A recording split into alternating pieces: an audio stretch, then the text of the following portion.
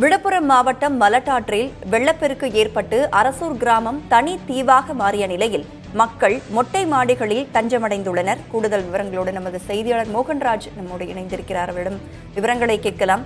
மோகன்ராஜ் தற்பொழுது அந்த பகுதியில் சிக்கியிருக்கக்கூடிய மக்களை மீட்டு படகுகள் மூலம் மீட்டு முகாம்களில் தங்க வைக்கப்பட வாய்ப்புகள் இருக்கா? இது குறித்து புகார் அளிக்கப்பட்டிருக்கா? ராதா விழுப்புரம் மாவட்டத்தில் இந்த செஞ்சல் புயல் ஏற்படுத்திய பாதிப்புகள் தொடர்ந்த வண்ணமே இருக்கிறது. குறிப்பாக தற்பொழுது நாம் பார்த்து கொண்டிருக்கக்கூடிய இந்த பிரத்யேக காட்சிகள் விழுப்புரம் மாவட்டம் அரசூர் பகுதி குடியிருப்புகள். அதாவது தென்பெண்ணை ஆற்றின் துணை ஆறான மலக்காட்டில் ஏற்பட்டு இருக்கக்கூடிய பெரு வெள்ளம் தற்பொழுது உளுந்தூர்பேட்டை சென்னை தேசிய நெடுஞ்சாலையை கடந்து ஆர்ப்பரித்து அந்த பகுதியை செ- சென்று கொண்டிருக்கிறது.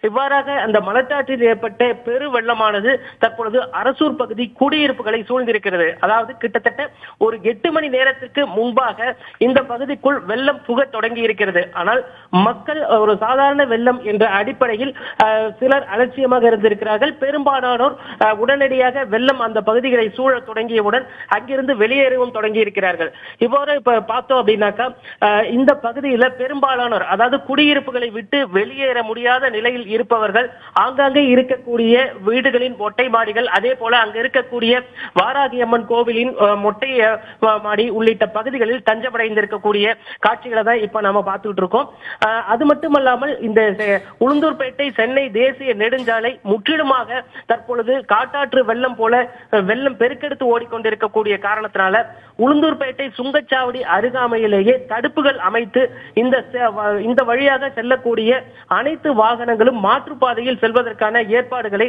காவல்துறையினர் செய்திருக்கிறார்கள். இருந்த போதிலும் கூட தற்போது இந்த பகுதியில் ஏற்பட்டிருக்கக்கூடிய பாதிப்பு விரைவில் சீராகுமா அப்படிங்கிறது ஒரு கேள்விக்குறியாகவே இருக்கிறது. அது மட்டுமல்லாமல் நமது பருந்து பார்வை காட்சிகளில் இந்த வெள்ளத்தில் இரண்டு வாகனங்கள் ஒரு லாரி மற்றும் ஒரு மினி லாரி சிக்கிக் கொண்டிருக்கக்கூடிய காட்சிகளையும் பார்க்க முடிந்தது.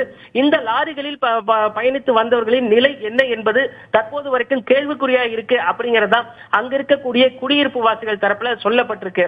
அது மட்டுமல்லாமல் தற்பொழுது ஒருவேளை இரண்டு வேளை அவர்களுக்கு உணவு கிடைக்க வாய்ப்பு இருக்கிறது. ஆனால் இதே நிலை நீடித்தால் தொடர்ந்து அவர்கள் பசியார உணவு கிடைக்குமா அப்படிங்கிற ஒரு கேள்வியும் எழுந்திருக்கு.